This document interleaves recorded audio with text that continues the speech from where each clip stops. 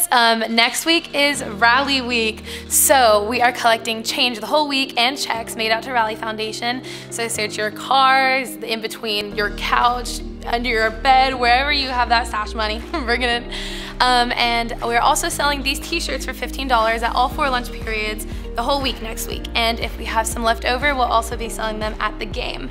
Um, and the Friday night game is against Pebblebrook and it is a gold out. So wear this shirt and wear gold accessories, go all out. Um, and the class in first place that raises the most money for Rally Foundation gets Chick-fil-A biscuits on the October 3rd, I believe, following fall break. And the second and third place winners get donuts. So bring all your change and go gold.